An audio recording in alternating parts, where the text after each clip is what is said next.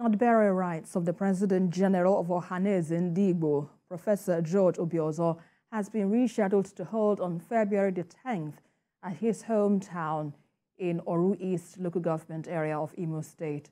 However, the burial of the Deputy President General of the Apex Group of uh, Igbo organization, Joel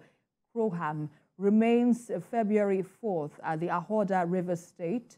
arising from a second emergency meeting of the National Executive Council of the Ohanaeze Ndigbo held in Enugu, uh, uh, Secretary General of the group, Oke Emuche, revealed that the burial committees would be chaired by a former President General of the Ohanaeze Ndigbo, Gary Igwa, Igariwe, while the Secretary of the committee is the President of the Ohanaeze Ndigbo Imo State, uh, CB Ihenedu, with all members of Ohanaeze NEC as members and Ohanaeze members from the seven states of Ohanaeze.